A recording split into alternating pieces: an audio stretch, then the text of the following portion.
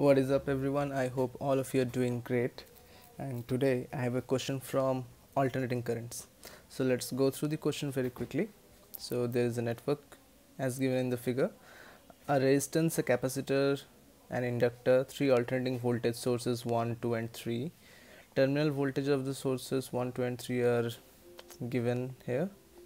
Okay so these are the phases. Respectively and moduli of the reactances of the capacitor inductor are equal. Okay very good. So according to the question xc will be equals to xr these are the reactances capacitive and inductive is equal to r. Okay.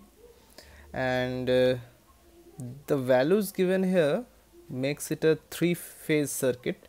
Um, you can search on the search in google that what is a three phase motor or a three phase circuit looks like I mean what is the principle behind it.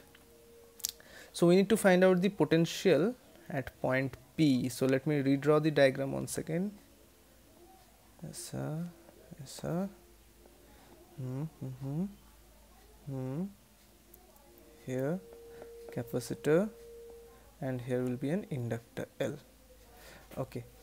So R XC XL so let us consider the potential at this point be 0 then potential here at any instant will be V1 here it will be V2 here it will be V3 and let the potential at P be X. Okay.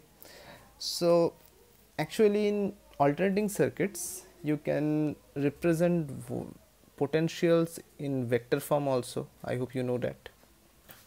Okay and you can write reactances sorry the impedance of a circuit in complex form like a plus ib where a consists of the resistance part and b consists the uh, reactance part. Okay. So to find out x uh, you, I, I am using here junction rule. So the sum of x minus so we can write here x vector also so x minus v1 vector divided by r plus x minus v2 vector divided by minus jxc where j is nothing but uh, root over minus 1 okay? Plus x vector minus v3 divided by jxl will be equals to 0 so x vector. Now we know that r xc and xl all are same. So x vector is 1 plus j minus j. And uh, you will be getting equals to v1 vector minus jv2 plus jv3 okay so finally x vector becomes v1 vector minus j v2 vector plus j v3 vector. Now as you know the v2 vector was given as if you check the question once again v2 vector is v sine omega t plus 120 degree v sine omega t plus 120 degrees and multiplying it with the minus j tells you to decrease the I am sorry I think I made a mistake here. This one will be plus and this will be minus. This will be minus okay?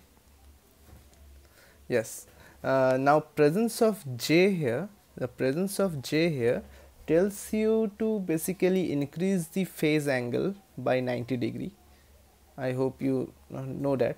Because we use the complex form just to show that the inductors and the capacitors are used to change the phase of the current phase difference between the current and the voltage by 90 degrees okay?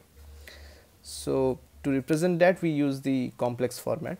So you can just absorb this j in v2 and you can write v1 as it is that is v sine omega t. J times v2 will just be v sine omega t plus 120 with an additional 90 degrees and minus j will just decrease the phase by 90 degree. So it will be v sine omega t plus 210 minus 90 degrees.